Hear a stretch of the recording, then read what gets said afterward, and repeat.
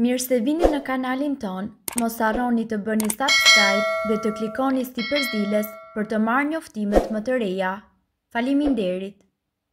Keni dhimbje dhëmbi, vendosni qepë të kuqe në gojë dhe dhimbja largohet për dy minuta. Nëse keni dhimbje të dhëmbëve vendosni një fetë qepë në dhëmb, dhimbja do të zhduket menjëherë. Gjithçka që duhet të bëni është që të lini fetën e qepës për disa minuta në dhëmb. Arsyeja për këtë është shumë e thjeshtë, qepët kanë në përmbajtje antiseptike dhe antiinflamatore.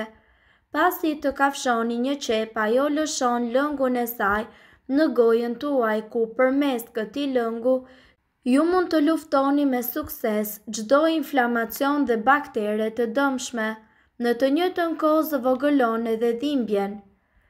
Dhimbjet e dhëmbëve janë vërtet të vështira, kush ka probleme të vazhdueshme me dhëmbët e di se sa e vështirë është t'i përballosh ato. Ndonjëherë kemi frikë të shkojmë te dentisti, por provojmë zgjidhje shtëpiake për të qetësuar dhimbjen e tyre. Dhe këtu ne kemi disa këshilla për t'ju dhënë në rast se ju do të keni dhimbje dhëmbësh. Uji i ngrohtë me kripë. Kripa është një dezinfektues natyral. Përzini kripën me ujë të vakët dhe shpëlani gojën me të. Kjo do t'ju japë ju një lehtësim të menjëhershëm tek dhëmbët. Mjekët zakonisht e sugjerojnë këtë ilaç si ndihmë e parë. Ky proces mund të përsëritet katër deri në pesë herë në ditë dhe ka efekt të menjëhershëm. Soda e bukës Soda e bukës mund t'ju vijë në ndihmë për të lehtësuar dhimbjet. Thjesht shtoni në furçën e dhëmbëve pak sodë buke dhe fërkoni dhëmbin që po jua shkakton këtë dhimbje. Kjo metodë do t'jua lehtësojë dhimbjen brenda pak minutash. Vendosni akull, Ne të gjithë e dimë se akulli kuron çdo ënjtje, edhe për dhëmbët funksionon. Thjesht merrni akullin dhe vendoseni në anën e faqes ku ndodhet dhëmbi i prishur, që po ju shkakton juve dhimbjen. Përdoreni këtë metodë duke e mbajtur akullin në faqe për pesëmbëdhjetë minuta. Në rast se keni shumë dhimbje, përdoreni disa herë në ditë. Kjo metodë është e dobishme në heqjen e inflamacionit dhe ënjtjes. Karafili ose vaj karafili, Shtypni dy karafila dhe përziejini ata me ullin apo vaj ulliri. Aplikojeni përzierjen në zonën ku ju dhëmb dhëmbi. Është një mënyrë shumë e mirë për të larguar dhimbjen. Xhinxheri, Hidhni pak rrënjë xhinxheri në një enë me ujë dhe më pas bëni gargarë me të. Çaji, Në kutinë e ndryshme të çajit këshillohet se dhimbja e shkaktuar nga dhëmbi mund të qetësohet nga çaji. Çaji i zi ka përfitime të dyfishta. Përveçse konsumimi i tij zvogëlon ënjtjen dhe vendosja e qeses së tij në dhëmbin e sëmurë e zvogëlon goxha dhimbjen. Qepa, Qepët kanë veti shumë të forta kundër dhimbjeve të dhëmbëve. Për të reduktuar dhimbjen mjafton të copëtoni një qepë dhe ta mbani atë për disa minuta tek dhëmbi i cili ju krijon juve probleme. Hudhra, Mund t'ju duket absurde disave, por, duke marrë parasysh erën e pakëndshme të hudhrës, por ajo ndihmon edhe në shërimin e dhimbjeve të dhëmbëve, si profesionistët, thjesht prisni një copë hudhër dhe e vendosni atë në zonën që ju dhëmb. Hudhra ndihmon në largimin e baktereve nga goja dhe minimizon dhimbjet. Dhimbja e dhëmbëve ndodh gjithmonë kur e prisni më pak, ose jeni jashtë për darkë me një person të rëndësishëm ose jeni duke kaluar pushime të këndshme me familjen tuaj.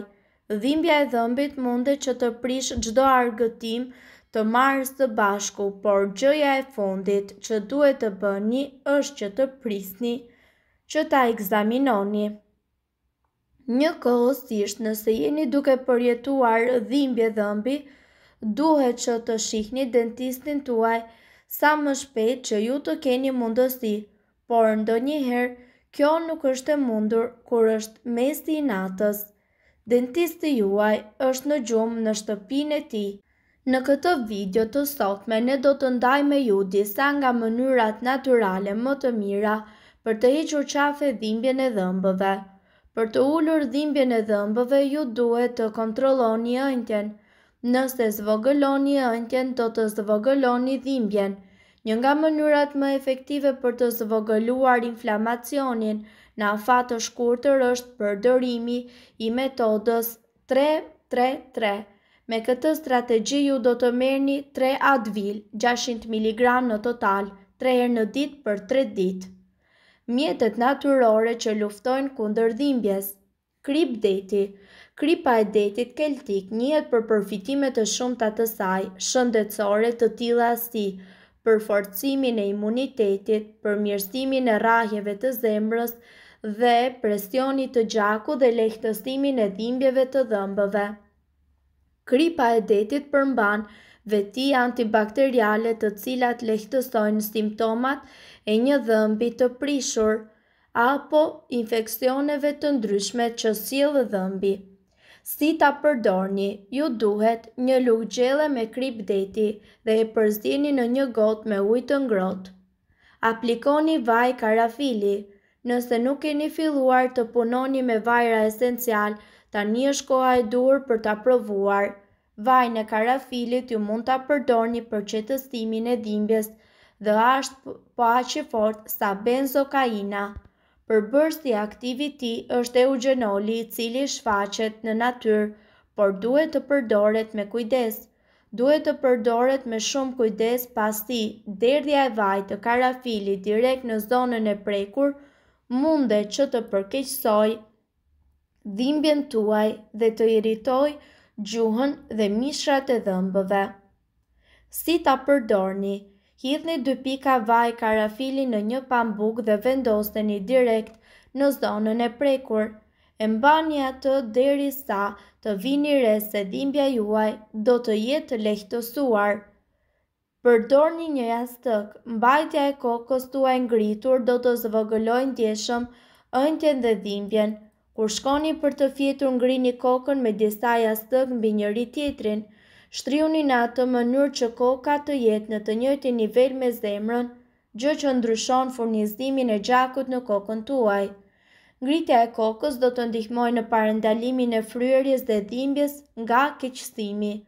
Përdorni fasha të ftohta. Aplikimi i kompresave të ftohta do të ndalojë dhimbjet e mëdha të dhëmbëve. Përdorni qepët.